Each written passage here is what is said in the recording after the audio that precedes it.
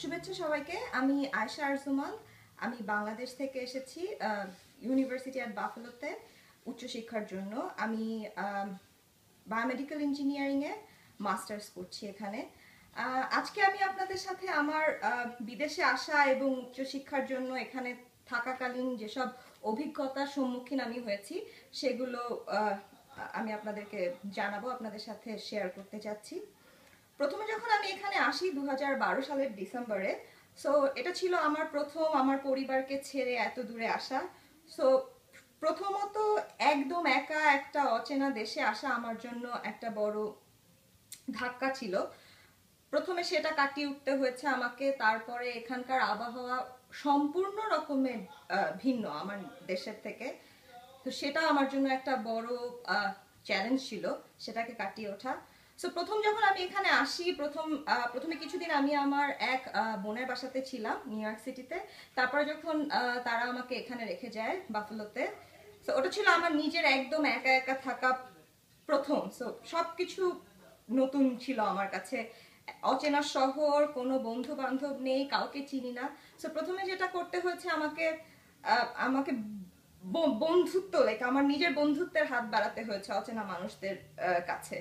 এবং আমি যেটা দেখেছি যে যখন আপনি আপনার পরিচিত গণ্ডি থেকে বের হয়ে একটা সম্পূর্ণ অচেনা জায়গায় চলে আসেন, আপনি আপনাকে নিজেকে নতুনভাবে আবিষ্কার করতে পারেন। আমার মধ্যে অনেক কিছু ছিল যেটা আমি আগে কখনো ভাবিনি বা আগে কখনো আমাকে করতে হয়নি, সেটা আমি এখানে আসার পরে বুঝতে পেরেছি যে আমিও সেটা পারি। কঠিন ছিল কিন্তু আমি করতে পেরেছি। এটাকে কাটিয়ে ওঠা। প্রথম প্রথম অনেক খারাপ লাগতো কিন্তু পরে যখন আমি এখানে নতুন বন্ধু খুঁজে পেয়েছি তখন সবকিছু অনেক বেশি সহজ হয়ে গেছে। এখানে যেই জিনিসগুলো আমার খুব ভালো লেগেছে এখানকার সেখান সেটা হচ্ছে আমার বিশ্ববিদ্যালয়ের পরিবেশ। আমার শিক্ষকরা সবাই খুবই বন্ধুসুলভ। আহ, যে কোনো সমস্যা নিয়ে তাদের কাছে যে কোনো সময় গেলে তারা সব সময় যথাসম্ভব সাহায্য করার চেষ্টা করে।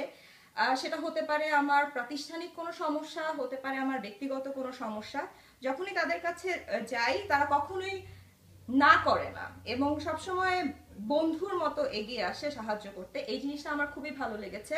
এখানে এসে আমি বিভিন্ন দেশের সংস্কৃতি সম্পর্কে জানতে পেরেছি। যেমন পার্শ্ব আমি বাংলাদেশ থেকে এবং ভারত আমার একদম পার্শ্ববর্তী দেশ। অনেক নতুন কিছু আমি জানতে পেরেছি, নতুন আঙ্গিকে যেটা আমার আগে কখনো জানা হয়ে ওঠেনি। এবং আপনি যখন ভিন্ন ভিন্ন সংস্কৃতি থেকে আসবেন, তখন আপনার চিন্তা, চেতনা, কোনো একটা জিনিসকে দেখার কোনো একটা জিনিসকে বিচার করার যে দৃষ্টিভঙ্গি কতটা ভিন্ন হতে পারে, সেটা আমি বুঝতে পেরেছি এবং এটা আমার জন্য একটা খুবই ভালো অভিজ্ঞতা ছিল। তো এখন পর্যন্ত আমার অভিজ্ঞতা নিয়ে আমি আসলে বেশ সন্তুষ্ট এবং done oh I sorry I thought it's done can I go এবং আহ, মোটামুটি বলব সব অভিজ্ঞতাই ভালো ছিল। খারাপ অভিজ্ঞতা যে একদম কিছু হয়নি তা না।